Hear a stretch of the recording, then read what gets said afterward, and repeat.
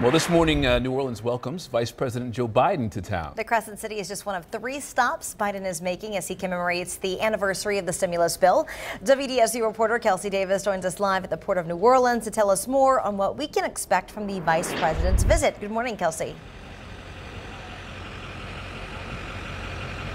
Randy, good morning. Now, just beyond the railroad tracks here is a secure area right now. We've seen lots of state police and NOPD officers heading back that way. They're getting it all secure for Vice President Joe Biden's speech here. Uh, that's going to be taking place later on this morning. We did get a glimpse of the area, though. The stage is set, and they have a beautiful backdrop of the Crescent City Connection Bridge right behind them. Uh, later on this morning, Vice President Joe Biden will be joined by Governor John Bel Edwards, Mayor Mitch Landrieu, and Congressman Cedric Richmond and other local officials as he speaks to commemorate the seventh anniversary of the American Reco Recovery and Reinvestment Act, or the stimulus bill. When President Obama signed that bill into action in 2009, New Orleans got some $26 million for the Napoleon Avenue Port Terminal improvements.